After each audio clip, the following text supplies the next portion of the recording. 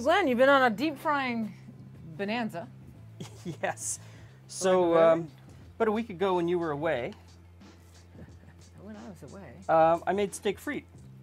And I thought, eh, I'm just going to throw the steak in the hot oil after the french fries were done. Mm-hmm. Yes, you sent me a note. Yes, and you So- said it was quite good. So this is my So here, chance. here we're going to go again. gonna switch spots. I'll have you So-. This is um, the beef fat that I rendered out, Yes. 350 degrees. And Is that the beef fat you already cooked the chips in? The chips I cooked in this, yes. Okay. So And just laying it in there.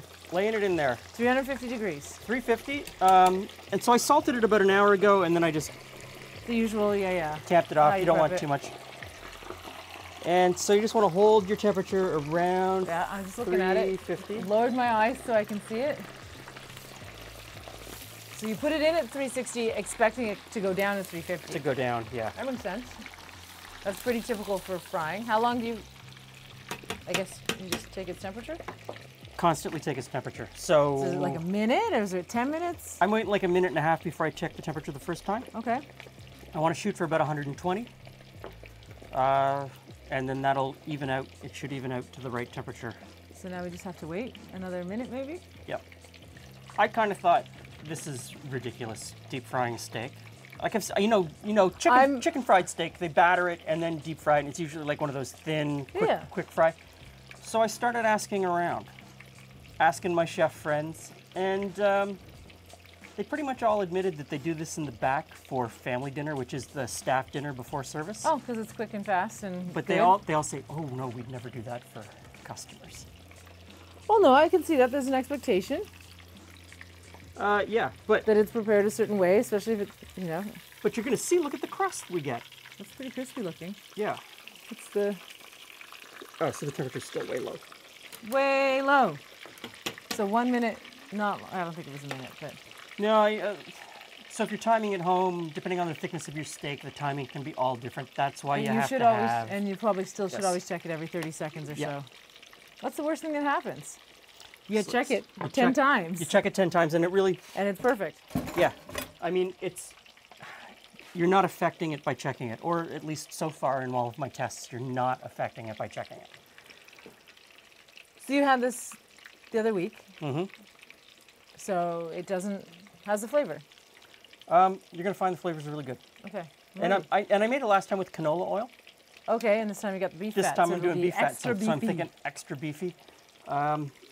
But it works in canola oil. Yeah, it works in canola oil. Anything you want to fry it in. Look at that crust.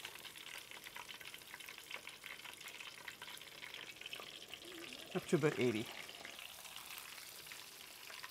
Okay, we're done. Woo! So it's been what, about three minutes? Not long. Not long, about three minutes. So We weren't very scientific in the timing, but on a rack, um, there's a piece of tendon along this back here that I Okay. cut just so that it doesn't oh, so it doesn't curl. doesn't curl. All right, so we're gonna sit it, have it- its moment of rest. I'll get a cutting board. 10 minutes. Great.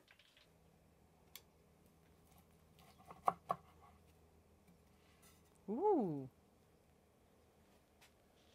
That looks pretty good. So I think it's maybe just a little overcooked, but Can you cut it in half again for me, please? certainly. Since I'm tasting. I don't wanna.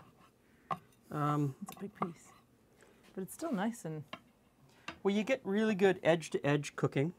yeah. It's like like the edging around the outside is like kind of equally all the way around. Yeah, you don't get that gray, that much of that gray ring. I should have pulled it maybe 30 or 40 seconds sooner. It's a tough timing.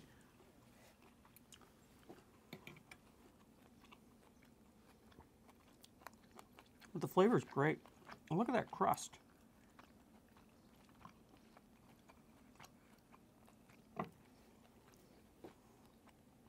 Juicy all It's the way really through? soft Yeah. in the middle, and it's got a nice, um, kind of crunchy, not crunch, crunchy, but crunch or chew on the outside and, and a crust, and there's no oily, greasy flavor. no, no, that's definitely not.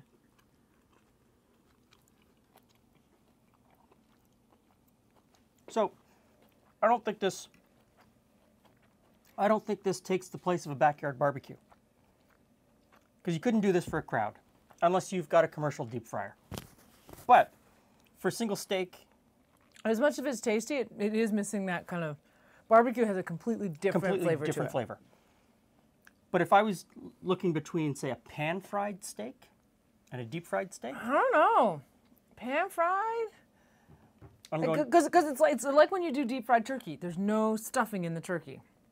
I feel oh, like and you this want doesn't. pan sauce. I like the pan sauce. That's true. So that's that's what's not in this one. yeah, little bit of I like that. little, butter and all that, You yeah. know, a little cognac. Okay. just- that's the part you don't get There's with no this. cognac with this, but I could have a cognac on the you side. can have a cognac on the side.